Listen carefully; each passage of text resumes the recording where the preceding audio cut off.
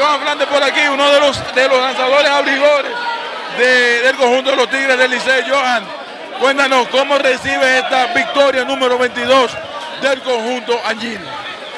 Le damos gracias a Dios por este momento, nos dio la victoria y de verdad que sí, que eso fue muy maravilloso en este momento y, todo el mundo como...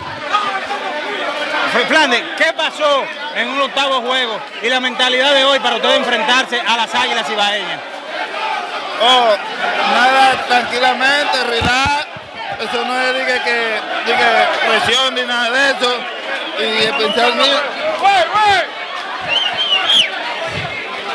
Señores, estamos todos bañados de cerveza, de ron y todo lo que se puede imaginar.